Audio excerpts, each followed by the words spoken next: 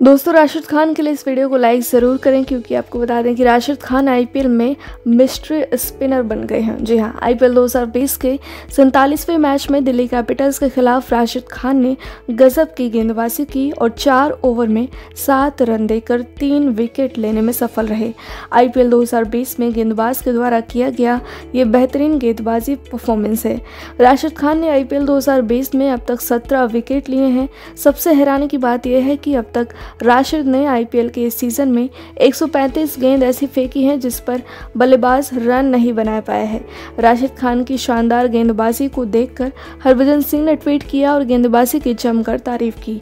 राशिद को लेकर भज्जी ने अपने ट्वीट में लिखा कि शानदार गेंदबाजी स्पेल लाला, कमाल की गेंदबाजी, राशिद खान तीन विकेट पर केवल सात रन, वाह, मुबारक हो।